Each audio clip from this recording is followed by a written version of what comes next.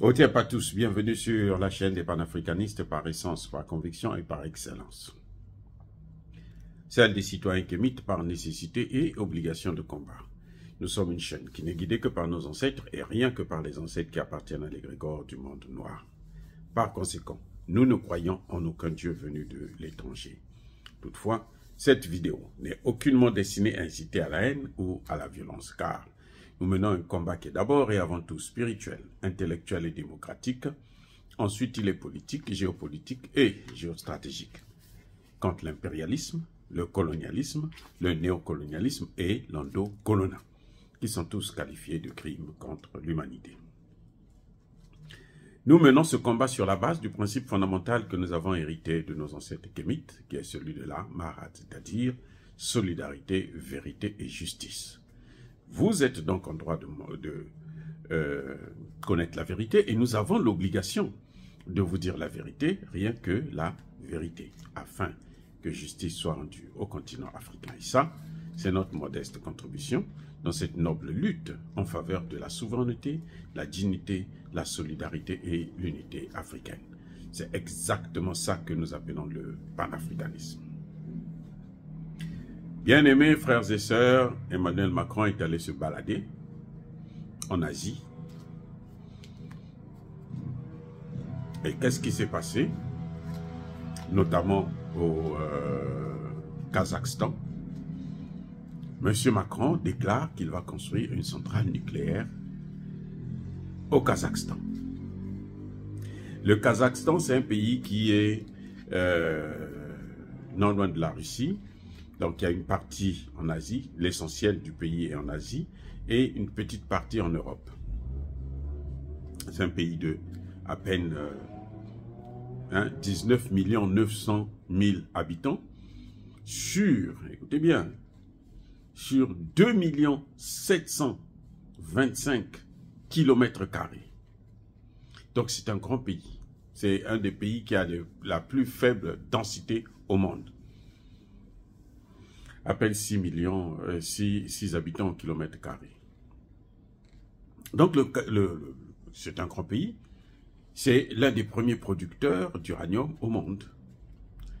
Et euh, il produit à environ 40% de la production mondiale.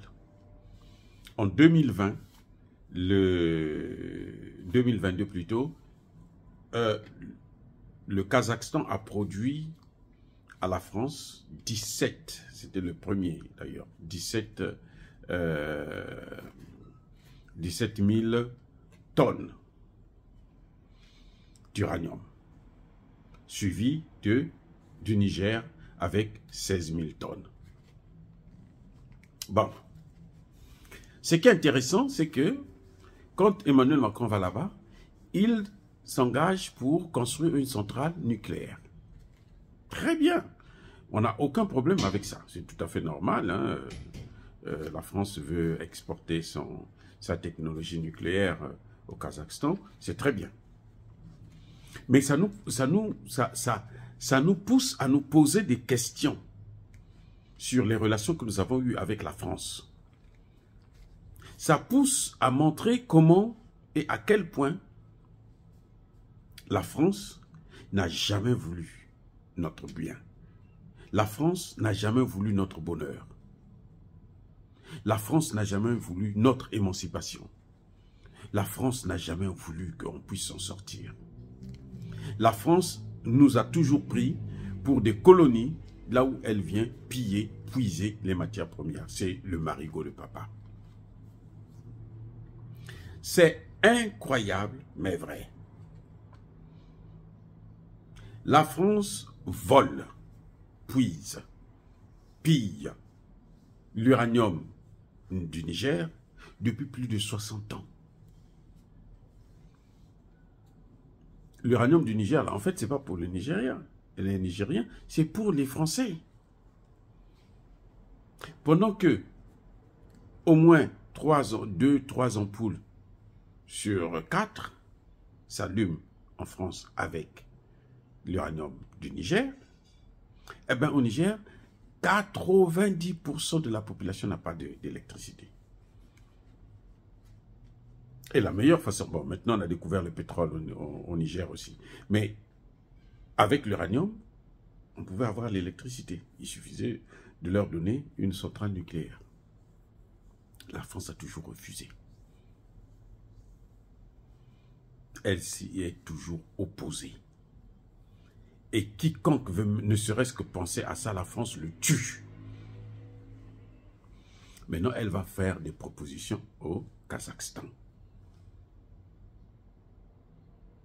Donc, vous voyez, le Niger, le général Tchani a eu raison sur toute la ligne de se débarrasser de ces voyous, de ces mercenaires, de ces criminels, de ces voleurs. Oui, il a raison. Voilà la preuve maintenant. Que la France, ce n'est pas, un, un pays qui peut être un partenaire. Parce qu'un partenaire, c'est pas celui qu'on vient piller, qu'on vient voler, non. C'est celui qui traite d'égal à égal avec vous. C'est ça qu'on appelle partenaire. La France n'a jamais été un partenaire d'aucun pays africain. Parce qu'elle vient pour escroquer seulement les pays africains. Je vais vous dire une chose. Lorsque la France achète l'uranium, elle a acheté l'uranium euh, du Niger à 11 dollars le kilo. Vous savez combien elle a acheté l'uranium du Kazakhstan et du, au Canada et autres? 127 dollars américains. Donc, voyez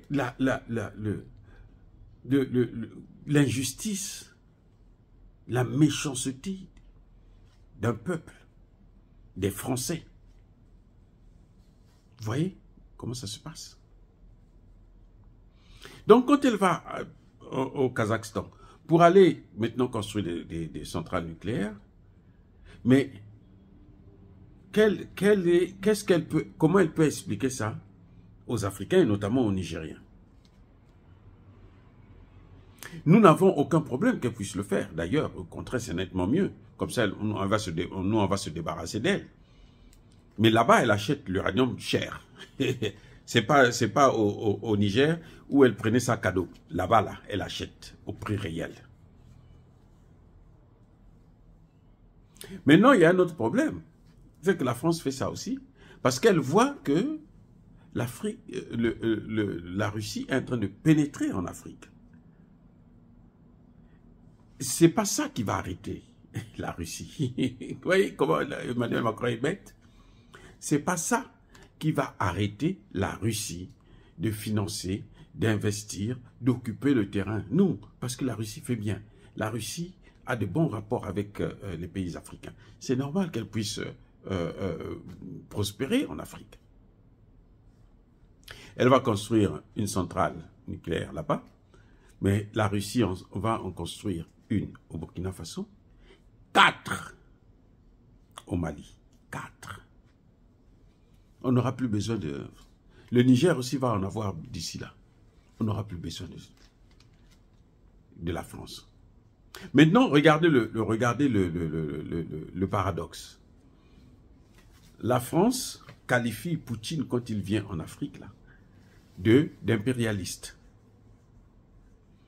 Maintenant, posez-moi la question. Que dit Poutine quand euh, Emmanuel Macron va juste à sa frontière que dit Poutine? Poutine, ça, Poutine, ça ne regarde même pas, il s'en fiche éperdument.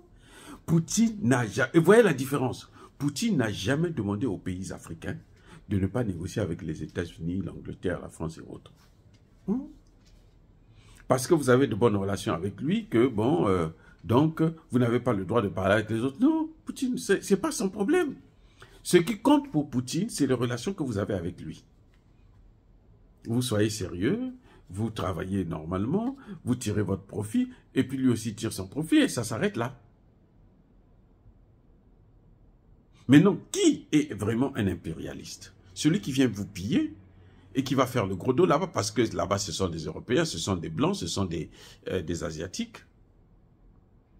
Et chez nous, comme ce sont des Noirs, eux, il faut les maintenir dans la pauvreté, dans la souffrance, dans euh, l'inactivité.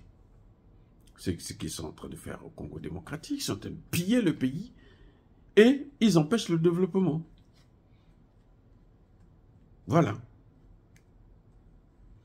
Donc, euh, euh, Emmanuel Macron n'aura plus de leçons à nous donner. Et ça, c'est bien.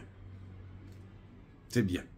C'est bien surtout pour les chefs d'État africains, pour qu'ils comprennent très bien ceux qui continuent à euh, courir après la France, ceux qui continuent à se coucher à plat ventre devant Macron, comme Alassane Ouattara, comme Mbalo Sissoko, qu'ils regardent bien l'injustice comment la France est méchante, comment la France n'a jamais voulu le développement de l'Afrique. C'est ça, ça ce sont des faits. Vous venez au, Niger, vous ne pouvez pas construire, proposer, essayer de proposer quelque chose, leur donner au moins l'électricité, non, il n'y en a pas. Dire cela, s'inciter à la haine ou à la violence, non. Il y a ma colère V. Il y a ma lèvre. Encore une fois de plus, bien aimés frères et sœurs, je persiste et je signe. Soyez bénis. Soyez abondamment bénis par le Dieu de Kémit et par nos ancêtres angélisés.